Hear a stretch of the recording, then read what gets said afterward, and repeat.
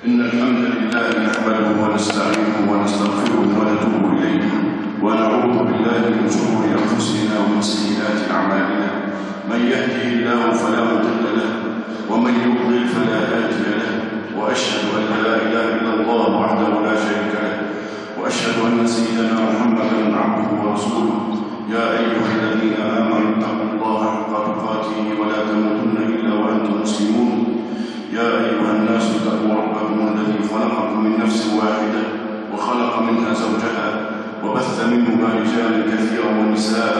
واتقوا الله الذي تساءلون به والأرحام. إن الله كان عليكم رقيبا.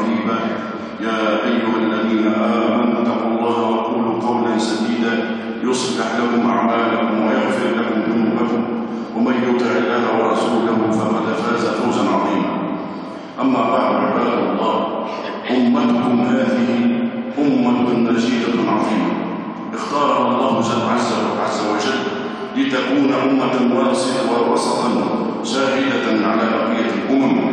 إنها أمة تمرض لكنها سرعان ما تشفى تغفو أحيانا لكنها لا تنام.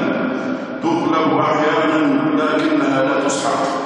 أخرج الله منها منابع للتوحيد وهداة للبشر ومشاعر للحضارة الحقاء فمع علم من أعلام هذه الأمة نقف وقفة عظة علم يجب على الأمة أن تجعله قدوة من القدوات. يوم كادت تغيب القدوات. إنه من العادلين إذا ذكر العدل. إنه الخائف من الله إذا ذكر الخائفون. إنه من أنزت له الدنيا بين يديه فتولى خلافها ولكنه ما تكبر وما تجبر وما ظلم. خشي الله فعدل. خشي الله فأمن خشي الله فرضي إنه أيها المؤمنون الخليفة الراشد الخامس عمر بن عبد العزيز رحمه الله. وما أدراكم ما عمر بن عبد العزيز. هذا البطل الذي استطاع في سنتين وخمسة أشهر أن يعود بالأمة إلى مرحلة الخلافة على منهج في سنتين وخمسة أشهر. عجز ما عجز عنه الذين بقوا في الحكم ثلاثين وخمسين سنة فلم ينجزوا شيئا وهو في سنتين ونصف. أنجز ما ما تذهب له العقول. من هو عمر بن عبد العزيز وما نسبه هو أبو حفص. عمر بن عبد العزيز بن مروان. أبوه هو عبد العزيز بن مروان بن الحكم وكان أبوه من خيار بني أمية بقي أميرا على مصر أكثر من عشرين سنة. أما أمه أدراك ما أمه الأم أعظم نسل من الأب. ولو أن الأب من بني أمية من الأشراف لكن أمه سترون أعظم نسلا من من الأب. أمه ليلى بنت عاصم ابن عمر بن الخطاب رضي الله عنه فاروق هذه الأمة ولعل الجميع يذكر قصة سيدنا عمر بن الخطاب. لما خرج في ليل من الليالي وهو خليفة على المسلمين خرج في المدينة كعادته في الليل يتفقد أحوال الرعية وإذا به يسمع لحوار بين أم وابنتها. حوار عن يسمع في أم وابنتها. الأم تطلب من ابنتها أن تمزج الماء اللبن بالماء. الأم تقول ابنتها امزج اللبن بالماء أضيف للبن الماء. فتشير ابنها.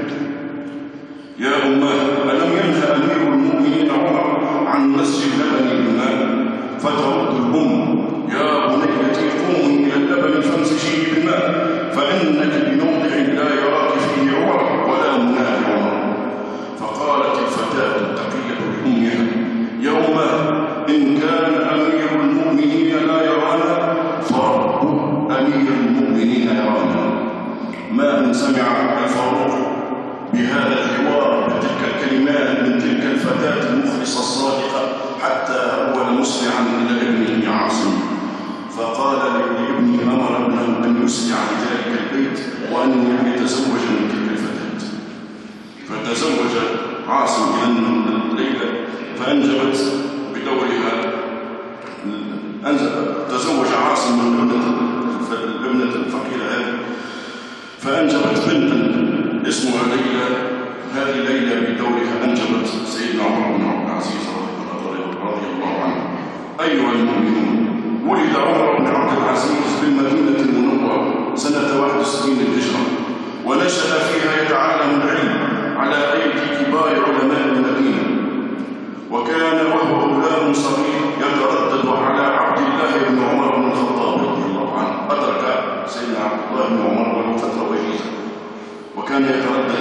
يحبه حبا شديدا وكان من أعظم شيوخه سعيد بن المسيب كبار من علماء التابعين رحمه الله قال عنه سيدنا أنس بن مالك رضي الله عنه ما رأيت أحدا أشبه صلاة برسول الله صلى الله عليه وسلم من هذا الفتى يعني عمر بن عبد العزيز كان عمر بن عبد العزيز يحتل مكانة متميزة في البيت الأموي فقد كان عبد الملك عمه عبد الملك بن مروان يحبه حبا كبيرا وكان معجبا بنباهته مما جعله يقدمه حتى على أبنائه. وزوجه بعد ذلك من ابنته فاطمة لأن زوجته هي فاطمة بنت بنت عمه. وفي عهد ابن عمه سليمان بن عبد الملك كان عمر بن عبد العزيز من أقرب الناس للخليفة سليمان. سليمان عمر بن عبد العزيز يوما في صعيد عرفة في موسم الحج.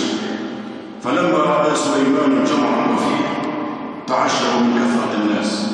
فقال له عمر بن عبد العزيز يا سليمان هؤلاء رعيتك اليوم وهم خصماؤك يوم يوم القيامة. فبكى سليمان وقال بالله أستعين. ولما نام سليمان على فراش الموت نادى وزيره الامين رجاء بن حيوه وقال له يا رجاء يهم يهمني أمر الخلافه فبماذا تشير علي؟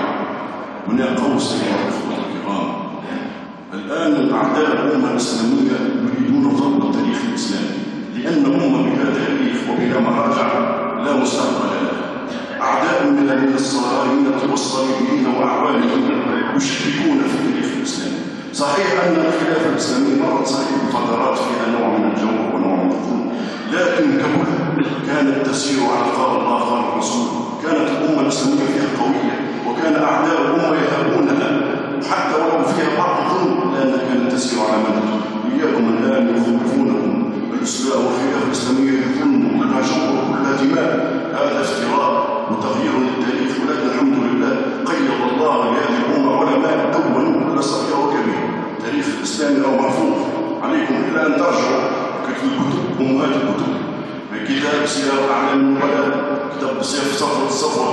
كتاب البدايه والنهايه ابن كثير وغيرها وهذه قوس على الناس اللي ترجع تاريخ الامه الاسلاميه اذا لما نام ابن عمي عمر بن عبد العزيز سليمان بن عبد الملك على فراش الموت نادى وزيره رجاء بن حيوه كان هذا الرجل وزير صادق وكان امينا وقال له يا رجاء يهمني أمر الخلافه فبماذا تشير عليه فقال له رجاء يا أمير إن مما يحفظك في قبرك ويشفع لك في اخراك أن تستخلف على المسلمين رجلا صالحا. فقال سليمان رجاء ومن عساه أن يكون فقال له رجاء عمر بن عبد العزيز. فقال سليمان والله لأعقدن لهم عقدا لا يكون للشيطان في مصر لأنه كان خايف من إخوانه وبني عمه من بني أمية قال الحيلة شنو مش نعمل؟ مش نكتب وصية؟ وأجعل عليه ختم ويجعل الوزير هذا بعد الوفاة مع سليمان من يخرج على الملاء ويعلن اسم الخليفة. يا رجاء أكتب أستخلف سليمان بن عبد الملك. أستخلف سليمان بن عبد الملك عمر بن عبد العزيز خليفة للمسلمين من بعده. يا رجاء أختم على هذا الكتاب وأجعله معك. ثم بعد ذلك نادى سليمان أمراء بني أمية من اخوانه وبني عمه وهو على فراش الموت وأمرهم بأن يبايعوا من استخلفه في الكتاب طلب منهم طلب. قال لهم أنا أطلب منكم انكم تبايعوا اللي مش نوصي به في الكتاب وأخفى عنهم ذلك فبايعوه وهم لا يعلمون من الذي أوصى به. وبعد أيام قليلة يموت الخليفة سليمان بن عبد الملك وينطلق الجميع لمسجد جابر بدمشق ويقف رجاء بن حيوه ليقرأ كتاب الشاب عمر بن عبد العزيز على المنبر فيخطو عمر بن عبد العزيز على المنبر فيحمد الله ويثني عليه ثم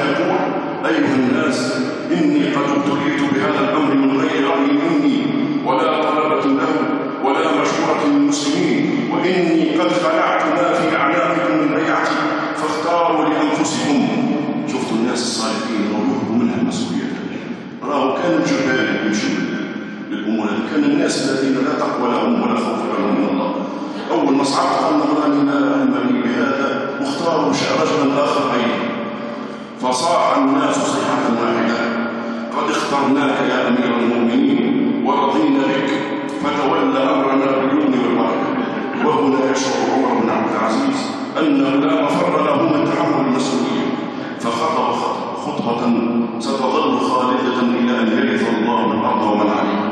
خطب الخلفاء كل واحد فيهم يعني أشعر خطبة أبو بكر الصديق من التوحيد خطبة سيدنا عمر. وهذه كذلك من الخطب المأثورة التي ستبقى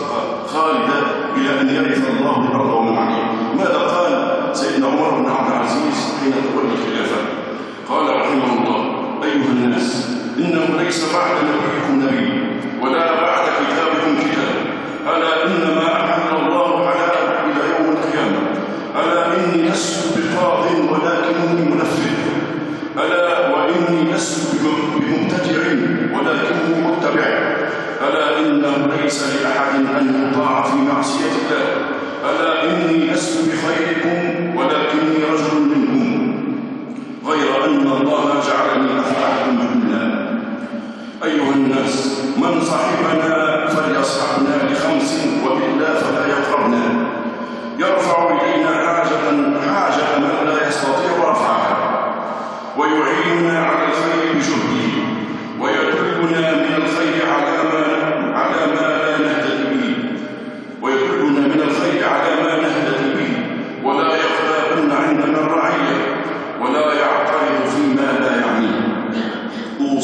بتقوى الله فإن تقوى الله خلف من كل شيء وليس من تقوى الله عز وجل خلف. واعملوا لآخرتكم فإنه من عمل لآخرته كفاه الله تبارك وتعالى أمر وأصلحوا سرائركم يصلح الله الكريم علانيتكم وأكثروا من ذكر الموت وأحسنوا الاستعداد قبل أن ينزل بكم فإنه هادم اللذات وإن هذه الأمة لم لم تختلف في ربها عز وجل ولا في نبيه عليه الصلاة والسلام ولا في كتابها وإنما اختلفوا في الدينار والدرهم. وإني والله لا أعطي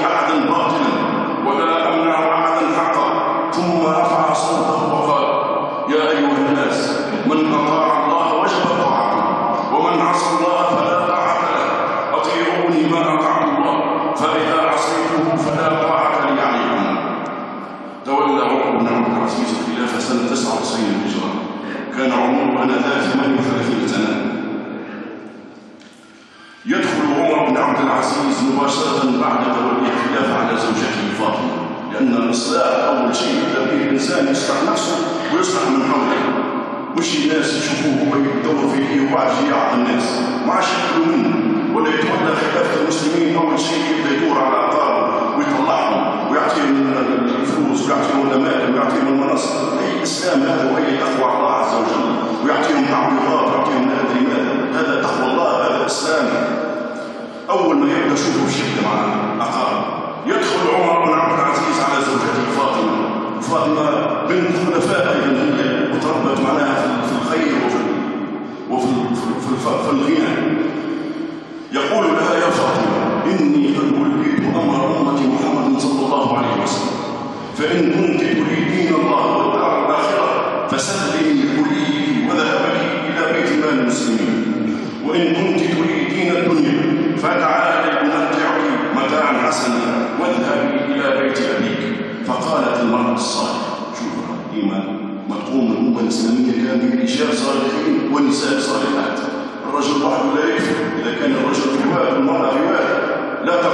أسرة ولا يقوم مجتمع قالت المرأة الصالحة لا والله الحياة حياتك والموت موتك وبادرت وسلم كل حرية وذهبها كل تملك وضعته بين يدي الخليفة الذي وضعها بدوره في بيت مال المسلمين. يتمدد عمر بن عبد العزيز قليلا يطلق وقع مرة بعد أن تولى الخلافة.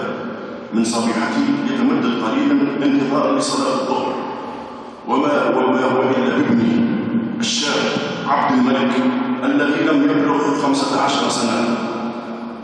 ينادي على أبيه يا أبتاه تنام وقد وليت أمر أمة محمد صلى الله عليه وسلم. وفيهم الفقير وفيهم الجائع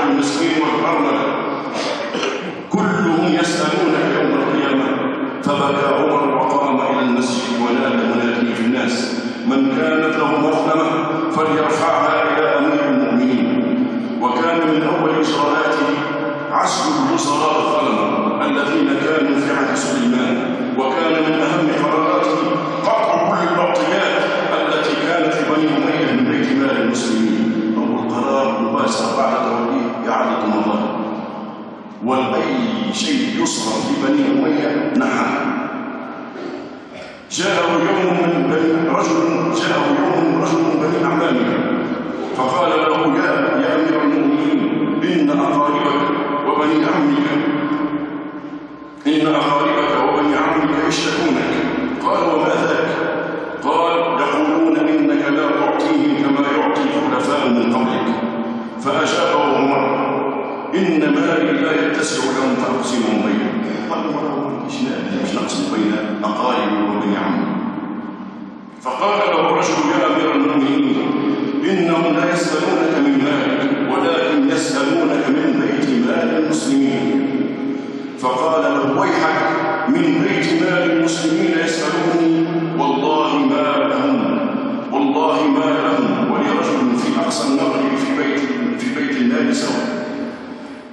لقريبه والله. حالهم كحال أي مواطن من مواطنين الدولة الإسلامية في أي مكان. لو لهم مثل الذي لهم وعليهم مثل الذي عليهم. وأنا مش نزيد وأنا أنا زايد على بقيه الناس. قرب عمر بن عبد العزيز اليه العلماء والصالحين. ماذا امره بالمعيار؟ المعيار إذا رايتم الحاكم والخليفة وغيره والملك يقرب الصالحين والعلماء والزهاد فأعلم أنه حاكم صالح رايتم يبعدهم ويهينهم ولربما يسجنهم ولربما يضربهم فاعلم أن هذا مثل مثل فرعون وغيره والعياذ بالله تعالى. عمر بن عبد العزيز أول ما تولى الخلافة. بعث للعلماء كبار العلماء وكانت امه مليانه بالعلماء في ذلك الوقت. وثم جعل بجانبه وزيرا له اسمه مهاجر وقال له كن بجانبي فإذا رايت فإذا رايتني ظلمت مسلما أو انتهكت عرضا أو شتمت مؤمنا فخذ بتلابيب ثوبي وقل اتق الله يا عمر. فكان وزيره مهاجر بهذه. وكان وزير فكان وزير مهاجر دائما يقول له اتق الله ويجب له أقل شيء. وزير. مكانه الوزراء الذين ينوعون للحاكم الطريق. مش هو يبقى في ظلام وهم يصرفون كتب عمر بن عبد العزيز إلى علماء المسلمين وطلب منهم ان ينصروه وأن يعرفوه وقال لهم انصروني قبل أن ألقى الله غدا ظالما فكتب له الحسن البصري كنا تحدثنا عنه الأسبوع الماضي وما ادراك ما الحسن البصري. يا أمير المؤمنين صم صم يومك لتفطر غدا؟ وكتب له سالم بن عبد الله بن عمر إنك آخر خليفة تولي وسوف تموت كما كما مات من قبلك وبعث له في يوم من الأيام الحسن البصري برساله بموعظه تبكي لها العلوم ماذا قال له؟ قال له يا أمير المؤمنين الإمام العادل كالأب الحاني على ولده. يسعى لهم صغارا ويعلمهم كبارا. يكتب لهم في يكتب لهم في حياته ويدخرهم بعد مماته والإمام العادل يا أمير المؤمنين كالأم كالأم الشفيقة البرة الرفيقة بولدها حملته كرها ووضعته كرها وربته طفلا. تسهر بسهره وتسكن بسكونه ترضعه تارة وتفطمه أخرى. تفرح بعافيته وتهتم بشكايته. والإمام العادل يا أمير المؤمنين وصي اليتامى وخازن المساكين يربي صغيرهم. والإمام العادل يا أمير المؤمنين كقلب بين الجوانب تصلح الجوانب بصلاحه وتفسد بفساده. والإمام العادل يا أمير المؤمنين هو القائم بين الله وبين عباده يسمع كلام الله ويسمعهم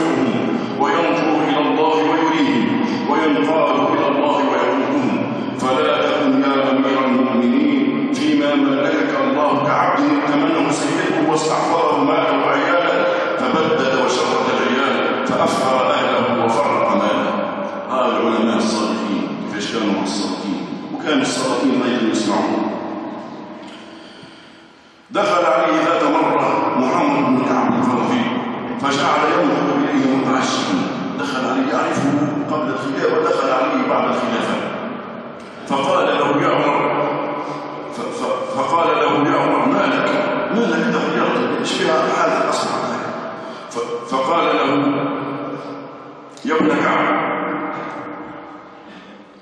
يا ابن كعب كيف بك لو رأيتني في قبري بعد ثلاث ليال؟